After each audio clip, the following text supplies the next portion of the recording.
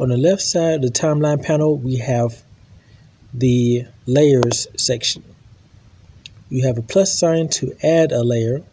And if you click that, you have four different kinds of layers that you can add to your timeline. Bitmap layer that we've covered um, in previous tutorials, as well as the vector layer, sound layer, and camera layer. The sound layer uh, is something I have to go in depth about, but we'll talk about that in the layer tutorial. And the camera layer I will talk about in this tutorial. So your bitmap size resolution stays the same, but your camera is moving closer and further away. So I hit Alt Shift Z to reset everything. And you can also animate this camera. Uh, let's see, that's our first keyframe. So let's put it on 15. And let's add a keyframe here. And we're going to control and drag. So now if we hit enter,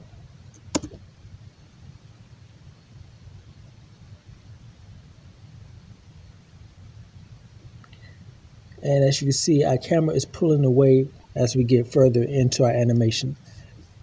Now if I wanted to make this camera go faster as it zooms out all I have to do is just push it a little closer and let's see here.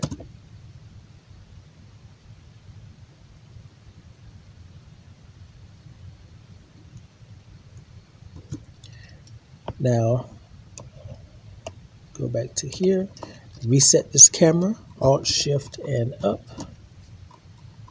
Now let's say I wanted to do a panning motion with this camera. So all I would do is I'll push this here.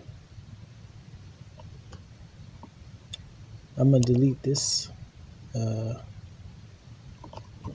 control shift space. I'm going to copy this camera position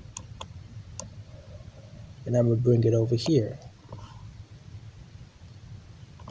and you make a copy of your keyframe by hitting this uh, duplicate plus sign button here. This plus sign is to add a keyframe.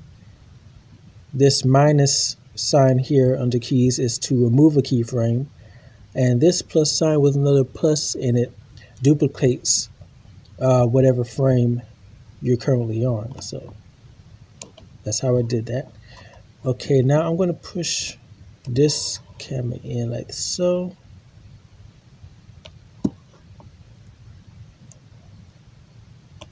And now if I hit enter,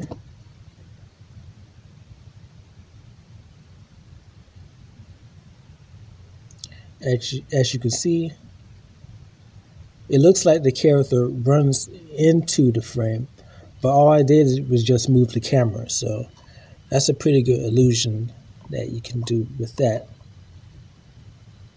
Now, if I wanted to, let's say, rotate this camera, let's try this. I'm gonna add a keyframe and I'm gonna rotate. Push that there. Move this back some. And I'm gonna add another keyframe here and I'm to move this here.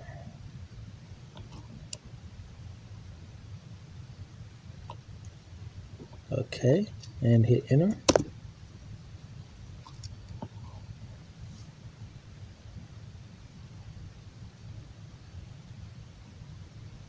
It's not much of a change.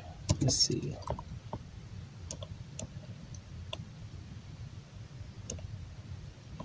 Let's uh, add another keyframe and I'm going to push in. I know this is supposed to be a uh, sort of tutorial, but now I'm just playing around with it, I guess.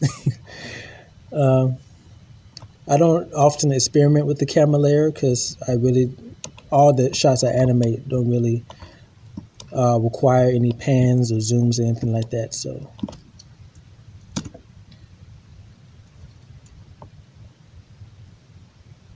That's what it looks like on your bitmap layer.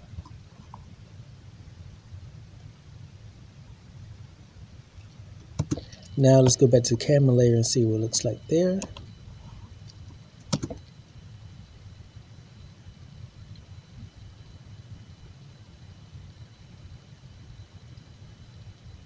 And there you go. Maybe in the future I will experiment with the camera layers in future projects. But for now, it uh, let's move on. Okay. Alt Shift up. Oh, that'll be right under there. All right, there we go. Okay, that's basically your layers there. You can also look for these layers in the menu bar under layer and you can um, hit your shortcut keys to bring up these layers and rename them as they come through. You can also double click and rename these layers also. And like I said before in the previous tutorial, uh, if you uh, hit the minus button, that will remove the frame. And it will ask you before it removes it, are you sure you want to delete this layer? Once you delete a layer, you can't get it back. So just be careful with this option here. Okay.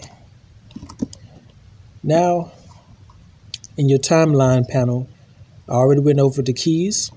Uh, to add a keyframe. Minus sign is to remove it. And the plus sign within the plus is to duplicate a frame. So let's duplicate a frame here. Go right there.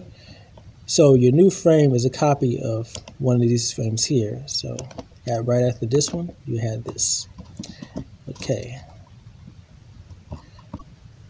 Anyway, this is your zoom button here. You can zoom uh, zoom out wide or zoom in close in your timeline. And now we come over here. The arrow facing left will be your uh, start position. So if I hit this, it brings your indicator all the way back to the very first frame. And as you hit this button that faces the right, it brings you to the very last frame. So starting frame, last frame. And this button in the middle is to play your animation. You can also go up here to play and it shows your shortcut keys on the right. So if I hit play, it plays that animation. Over here is your loop button. So if I turn that off and hit play, it should stop at the very last frame. There we go. I'm going to just leave that on.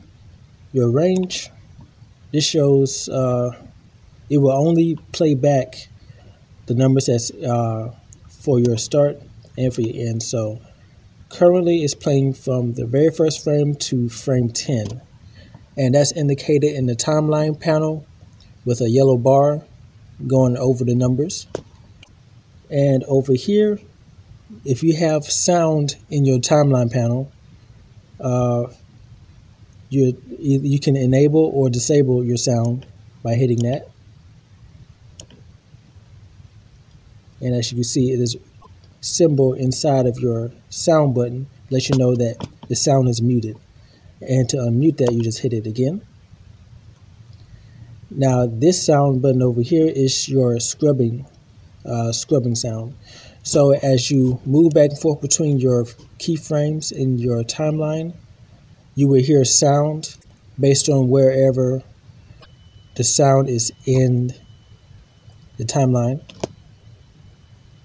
So this would be pretty handy if you needed to hear uh, syllables of a character talking and you can just scrub through their voice as they talk. And you can turn this off by just simply hitting it. And to turn it back on, you simply hit it again. So when it's muted, when the scrubbing is muted, you see a little red indicator inside there, let you know that. And your last button over here for your uh, frame rate is currently set for 3 FPS or 3 frames per second. And if you look in your timeline, there is two intervals of 3 for 3 frames per second. So it starts with 1, 1 will always be uh, indicated there. So it'd be 3, 6, 9, 12, 15, 18, 21. if I were to make this 8 frames per second,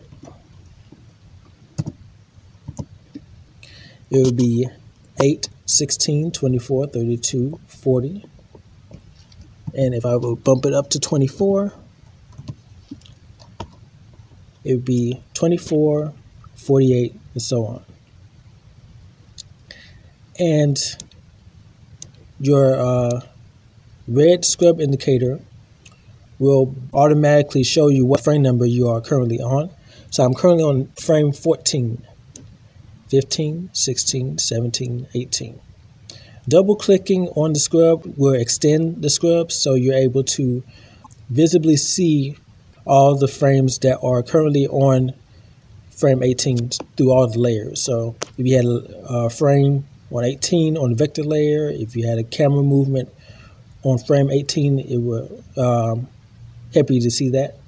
But you can also double click it to take that off of there if it's too distracting for you.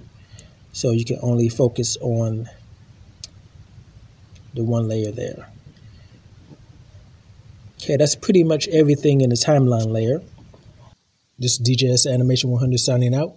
Thanks for watching.